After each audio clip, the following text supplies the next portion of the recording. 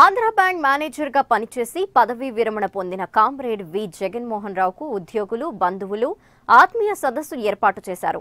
విజయవాడలో ఏర్పాటు చేసిన కార్యక్రమంలో జగన్మోహన్ రావుకు శుభాకాంక్షలు తెలిపారు. ఆంధ్ర బ్యాంక్ ఉద్యోగిగా ఉంటూనే తోటి ఉద్యోగుల సమస్యలపై పోరాటం చేశానని జగన్మోహన్ రావు తెలిపారు. ఆంధ్ర బ్యాంక్ విలీన సమస్యపై ఉద్యోగులతో కలిసి పోరాటం చేస్తానన్నారు. ఆంధ్ర బ్యాంక్ విలీనంపై కేంద్ర ప్రభుత్వం మరోసారి ఆలోచించాలని బ్యాంక్ మాజీ డైరెక్టర్ రామకోటేశ్వరరావు సూచించారు.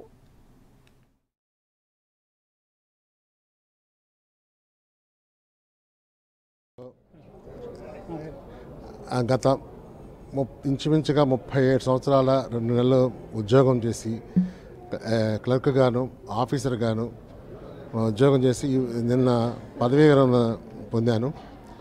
ఈ రోజున మా స్టాఫ్ అందరూ కలిసి ఆత్మీయ సదస్సు ఏర్పాటు చేయడం జరిగింది.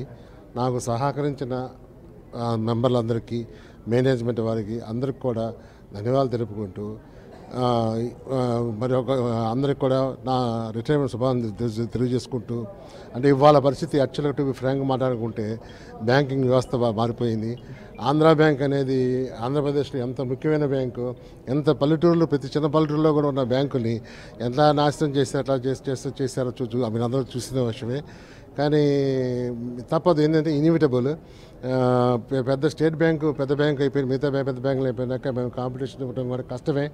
అలాంటి పరిస్థితుల్లో మెడ్జెస్ తప్పద తప్పకపోయినా కూడా ఆంధ్ర బ్యాంక్ ఉంచుతారని ఆశిస్తున్నాను. ఉద్యమంలో దాదాపు రెండు దశాబ్దాలు పనిచేసి దాదాపు మూడు దశాబ్దాలు అవార్డు స్టాఫ్ నుంచి కూడా పనిచేసి